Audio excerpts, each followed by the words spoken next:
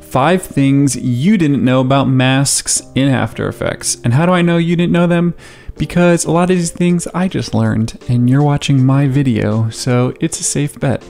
All right, so let's say we have this hot air balloon and we draw a mask around it like this. All right, we got our mask tool, or I mean our pen tool, and we're just gonna draw roughly this shape around it. Don't have to be too crazy precise here. We can always come back and fix this later like this. I'm gonna switch this mode to none here and then just come back in here, tweak this a little bit. Any areas like this where your mask is going a little funky, you can do uh, convert to vertex tool here and kind of tweak these things, click and hold and bend them back out in any way that you like to really kind of get things back in position. But I'm not gonna spend too much time on this. It's probably painful to watch. So anyway, the first tip here is that you can track a mask. If you right click on the mask here, click M to open up this mask drop down menu, right click, track mask. You get this little tracker here and I'm gonna do the position and rotation because that's really all that's moving here. And let's go forward and track this out a little bit.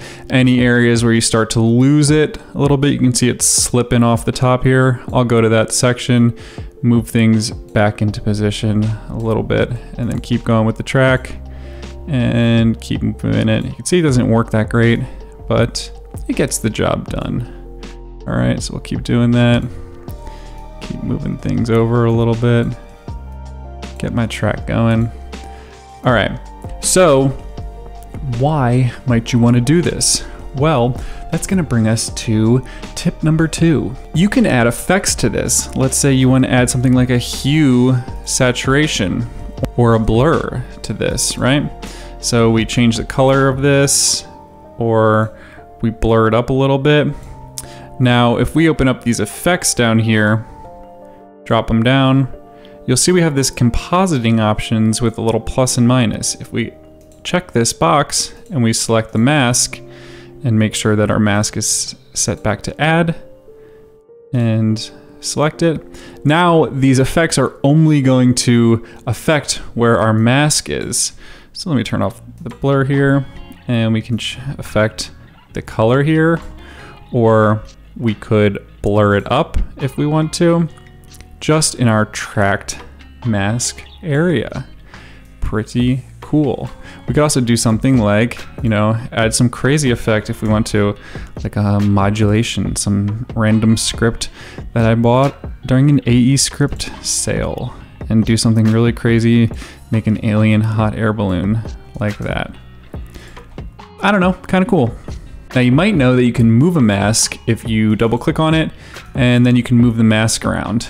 But did you know that you can move the footage or layer behind it if you click up here on the pan behind tool or the key command Y, then you can move the layer that's behind the mask. This can be very convenient sometimes.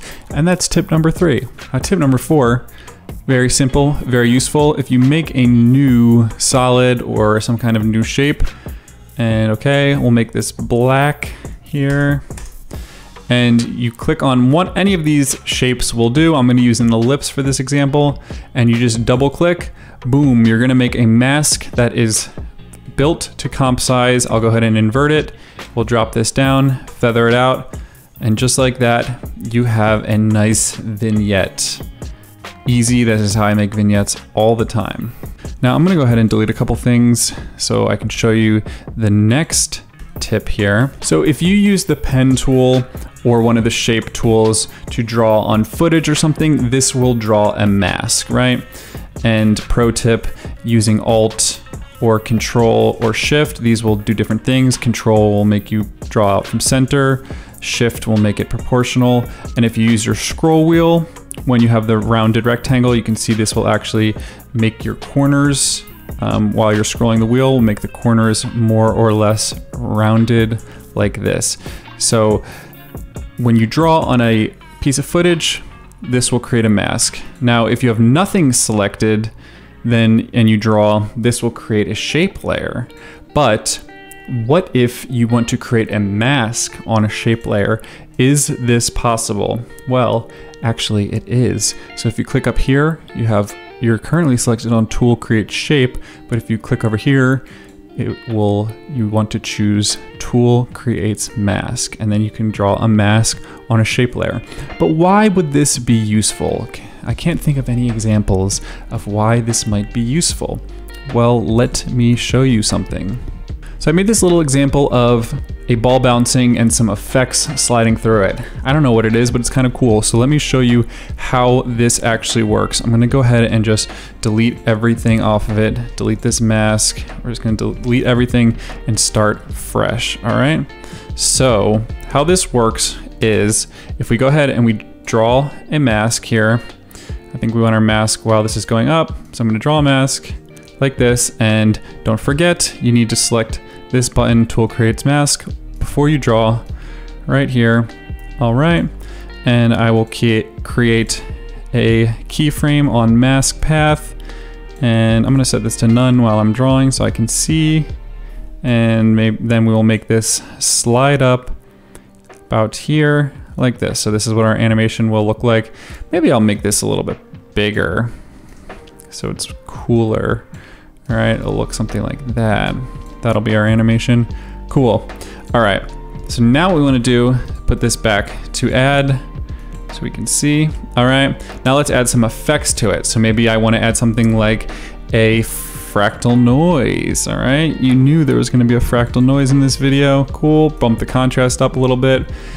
Um, then maybe we wanna add something like a mosaic to this, make that cool mosaic effect. That's cool. And then maybe add something like a tint to this and then tint it some colors. Maybe like a, it can be like a blue and like a purple, something like that. That's cool. All right, and then now all we gotta do is drop these effects down and then composite each one to our mask like this. Boom, boom, and boom. Now each one will just be linked to that mask effect. All on one layer, nice and clean. And we can change the mask animation if we want to, do whatever we want with this, nice and easy. So this has been five things that you did not know about masks in After Effects. Maybe you did, maybe you didn't. Let me know if you did or you didn't. And let me know if there's any other hot tips that uh, you would like to share about masks in After Effects. Leave me a comment. Let me know if you want to see more videos like this. And as always, thank you for watching and I will see you in the next one. Goodbye.